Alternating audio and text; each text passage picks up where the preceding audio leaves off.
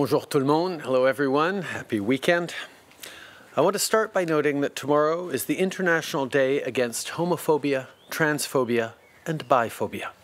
Every year, this is a day where we speak out against the stigma, discrimination, and violence that target the LGBTQ2 community. We need to show our solidarity tomorrow and every day. Homophobia, transphobia, and biphobia are never okay. We all have a role to play in building a Canada where everyone can be proud of who they are and whom they love. Peu importe où vous vivez ou ce que vous faites dans la vie, votre vie a changé à cause de la pandémie. Vos besoins, vos inquiétudes et vos défis ne sont plus les mêmes qu'avant parce que votre situation n'est plus la même. Notre gouvernement a donc mis en place des nouveaux programmes pour nous aider à traverser la crise, que vous soyez aux études ou à la retraite, avec ou sans emploi. En même temps, on prévoit plus de soutien pour les programmes et les organismes dont le travail est encore plus essentiel ces jours-ci. I want to start with some news on the medical front. Health Canada has now approved the first Canadian clinical trials for a potential COVID 19 vaccine at the Canadian Centre for Vaccinology at Dalhousie University. The National Research Council of Canada will be working with the manufacturers so that these vaccine trials, so that if these vaccine trials are successful, we can produce and distribute it here at home. Research and development take time and must be done right, but this is encouraging news. A few weeks ago, we announced $40 million for women's shelters and sexual assault centers across the country. And for Indigenous women and children fleeing violence, we're providing $10 million for emergency shelters. Our goal was to help these organizations take all the necessary steps to protect people not only from violence, but from COVID 19. To date, more than 500 women's shelters and sexual assault organizations have received additional support, including Inasmuch House in Hamilton, the Miramichi Emergency Center for Women, the Saskatoon Interval House, and the South Okanagan Women in Need Society. Les organismes communautaires comme les maisons d'hébergement pour femmes sont une ressource essentielle pour les plus vulnérables. Et pendant la pandémie, leur mission ne change pas. Au contraire, ils desservent une clientèle grandissante et doivent s'adapter aux réalités et aux difficultés de cette pandémie. On a donc mis sur pied le Fonds d'urgence pour l'appui communautaire qui dispose d'une enveloppe de 350 millions de dollars. La majorité des fonds sera distribuée par l'entremise de Centraide, Fondation communautaire du Canada et la Croix-Rouge.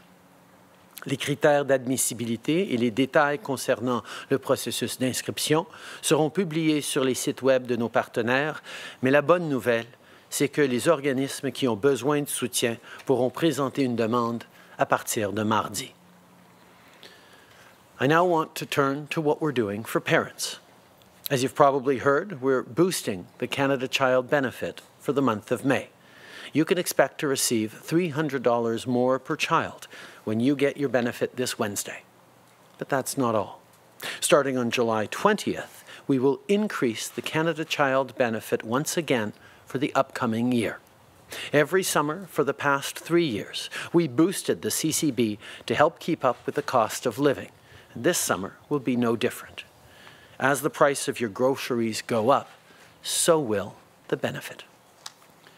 On prévoit des mesures de soutien ciblées pour les parents comme pour les étudiants et les aînés parce qu'on est conscient que ce sont des groupes qui font face à des défis particuliers à cause de la pandémie. Mais c'est clair qu'il nous reste encore des gens à aider. Je pense par exemple aux femmes propriétaires d'entreprises qui sont touchées de façon disproportionnée par la pandémie. Plusieurs exploitent des entreprises de plus petite taille et ont des problèmes de liquidité. D'autres œuvrent dans des secteurs qui sont paralysés par la COVID-19, comme l'hôtellerie, la restauration ou la vente au détail. Les obstacles liés à la pandémie s'ajoutent aux barrières auxquelles les femmes d'affaires font malheureusement encore et toujours face, comme la discrimination basée sur le sexe. Pour mieux appuyer euh, ces femmes pendant la crise, notre gouvernement va investir 15 millions de dollars dans la stratégie pour les femmes en entrepreneuriat. From the outset, Our number one priority has always been to protect the health and safety of Canadians, and we've been able to count on the Canadian Red Cross to do just that. They've been playing a key role in supporting Canadians during this crisis, helping both individuals and communities with their most pressing needs. But like many organizations, the Red Cross is facing an increased demand for its services at a time where they are getting fewer volunteers and receiving less in donations. So today, our government is investing $100 million to ensure that the Red Cross can keep responding to COVID-19 while also preparing for potential floods and wildfires. Je terminais ce matin en parlant aux enfants et aux jeunes qui nous écoutent. Je sais que les dernières semaines n'ont pas été faciles. Vous avez hâte de voir vos amis, de retourner à l'école et oui, d'avoir euh, un break de vos parents. Pour les ados qui sont de la communauté LGBTQ, je sais que c'est encore plus difficile. Souvent, c'est difficile à la maison, mais aussi, euh, on se retrouve loin de nos, euh, nos réseaux de soutien. On va continuer d'être là pour vous. Et je sais qu'ensemble, on va passer à travers tranquillement, les choses vont aller mieux. Alors, continuez de contribuer autour de la maison, continuez d'aider vos parents parce que, en même temps, ça nous aide à passer à travers en tant que société. Tenez fort, restez bons et on va se voir de l'autre côté. Merci beaucoup tout le monde.